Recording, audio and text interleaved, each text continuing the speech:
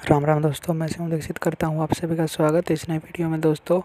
आपने कभी ना कभी तो ये ज़रूर सुना होगा कि इस फ़िल्म ने इतने पैसे कमाए इस फ़िल्म ने इतने पैसे कमाए दोस्तों। अब बात आती है कि दुनिया में सबसे ज़्यादा पैसे किस फ़िल्म ने कमाए दोस्तों? दुनिया में सबसे ज़्यादा पैसे कमाए हैं अवतार ने दोस्तों, पर अवतार एक फ़िल्म ऐसी ही है जो दुनिया में सबसे ज़्यादा पैसा कमा चुकी है। पर दोस्तों एवेंजर्स की एंड गेम अवतार को पीछे भी छोड़ सकती है। ये अभी बस आगे थोड़ा सा फ़र्क ही है, इनमें आगे या पीछे ही हैं।